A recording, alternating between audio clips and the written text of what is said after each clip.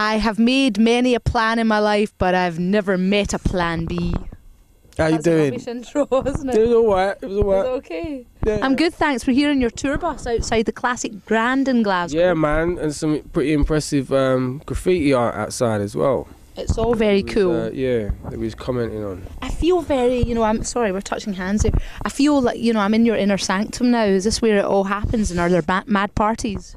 Not yet, man. It's like the uh, there's like the fourth date, so nothing too crazy's happened. Just You've got to wait after the fourth. How many dates does it take to go wild? I don't know. It just it just happens, innit? You just sit back. You know it's gonna happen, so you just sit back and you wait. You know what I mean? Now, this is, you see, this is a great honour because not only are you in Scotland and you're about to do this show, but you're also number one in the midweek Mm. I know, charts. I know, set to go number one at the weekend. Yeah. I would reckon. That's massive. Like you know what? I'm just I'm happy that it's gonna be a top ten record. You know, by the looks of it.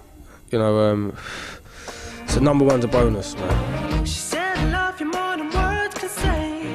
She said love you, babe.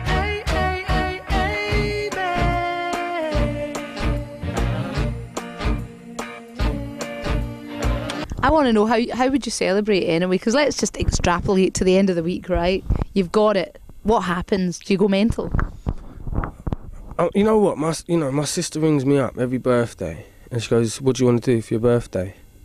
And I hate thinking about how I'm gonna celebrate. It just feels like stress because you got to plan everything, you know. And when, whenever you plan your own parties, it, always end up being a you know a headache. You know what I mean? So um, I guess Plan B doesn't like the plan, basically. no. That's why I just resort to plan Why B. don't you just time. be? I just I just resort to plan B. So you know what I mean. Uh, if somebody else was wanted to throw a party for me, if I got number one, then yeah, you know I'd, I'd happily turn up and have a good time. But um, yeah, I'm not planning anything. I think to to to kind of plan something would be presumptuous. You know, I'm presuming I'm going to win, and I don't think that's a good attitude to have. You know what I mean? So I said, saying, girl? It can't be right. How can you be in love with me?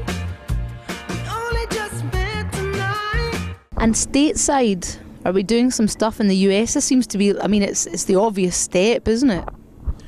Um, yeah, man. If I get the opportunity to bring my music to the US, then then I will. And if they're feeling it, then I'll work hard to, to kind of try and do what I've done here. And that's only going to open other opportunities for me in, in other avenues. You know, I've got into film now, started getting into directing, and you know, yeah, you know, I, I'm ambitious, and I, I want to be able to direct multi-million pound films one day. You know, with the best cast. You know, because So- I write film scripts. You know, and, and if I make when I make my first film, I'm going to make that on a small budget, which I'm going to shoot this year, and it's called Ill Manors, and it's manors M A N O R S. It's manors where you live, um, and it's it's like a, a small budget, feature length kind of hip hop musical or hip opera. Nice. Um, but it's it's it quite a gritty film, and um, I'm looking for that to be my calling card. You know, then I've got other kind of films. I've got a kind of British gangster film that I wrote, which is it's kind of going to be like the British Godfather. Um, Lots of gore. no, not so much gore, just just kind of really kind of um, I don't know, just interesting story about kind of crime in the East End.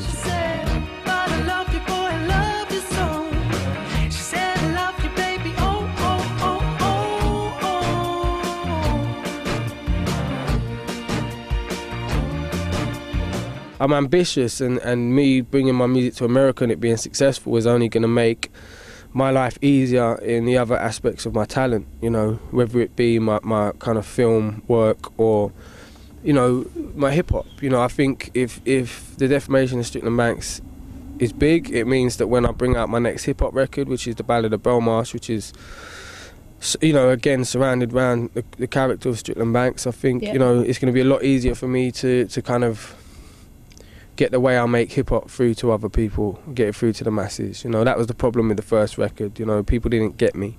You know, and I think after this record they're gonna get me, and they're, they're gonna be more open to giving my kind of the way I make hip hop a chance. You know.